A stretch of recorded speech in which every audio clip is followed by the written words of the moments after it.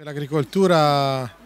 eh, la stiamo dimenticando, gli operai agricoli sono l'ultima parte di tutto il mondo de, de, dei lavoratori. Soprattutto a livello economico per noi, perché il contratto agricolo è l'ultimo dei contratti, è quello dove la paga oraria è la più bassa di tutti in Italia. Gli operai agricoli e florovivaisti sono così scesi in piazza, un presidio di fronte alla prefettura di Arezzo per sollecitare il rinnovo del contratto territoriale stiamo rinnovando in tutta Italia tutti i contratti provinciali, in questo caso nello specifico della provincia di Arezzo e le trattative non stanno andando a parer nostro dignitosamente come dovrebbero essere. Noi abbiamo presentato con la CGL insieme alla CISL e alla WIL una piattaforma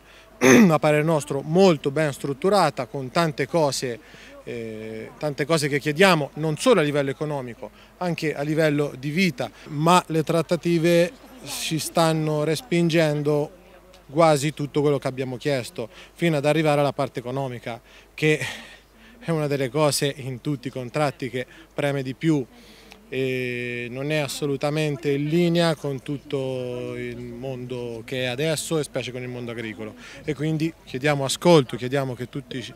di far sentire la voce degli agricoltori e di dargli il minimo per la, veramente per la dignità e quello che gli spetta. Da qui la richiesta di un intervento anche da parte del prefetto. Se non vengono accolte le nostre richieste cosa si rischia? Si rischia che il mondo agricolo,